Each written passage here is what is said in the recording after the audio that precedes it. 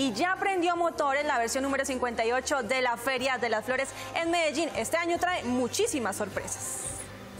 Cada año hay una época en que las calles de Medellín se convierten en un gran jardín. Aquí pujanza se dice destino, aquí presente se dice futuro.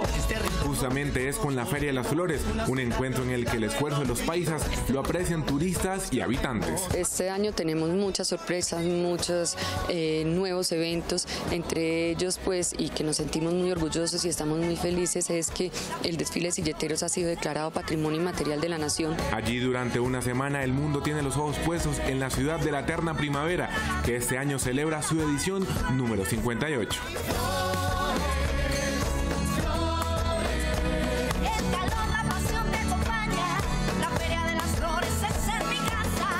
Este año cuenta con el tradicional desfile de silleteros, carros clásicos y antiguos, conciertos para todo el público y un sinnúmero de flores que adornan cada rincón de la ciudad. Tendremos también, pues, los gigantes de flores estarán en la plazoleta de Plaza Mayor.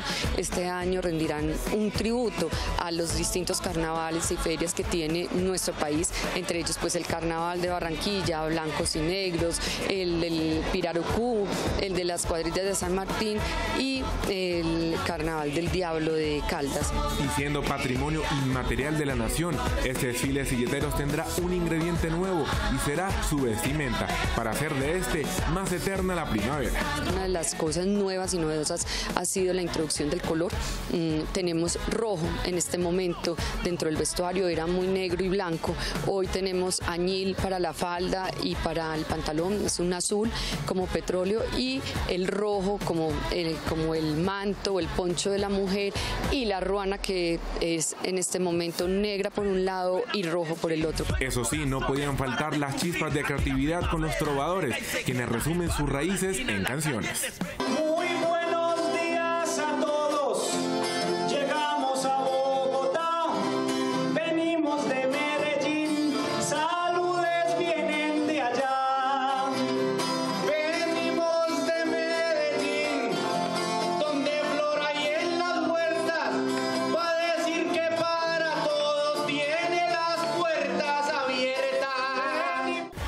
Esa época Medellín es un pueblo de color campesino, que es la alegría de un jardín florecido.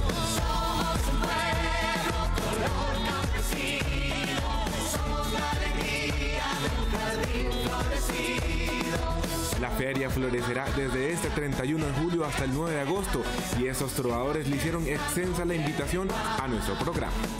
Yo quiero hacer una trova para Mónica y Hernán que en las mañanas con uno nos hacen el mejor plan. En las mañanas con uno, Moniquita es la más bella. Qué bueno sería estar en las mañanas con ella.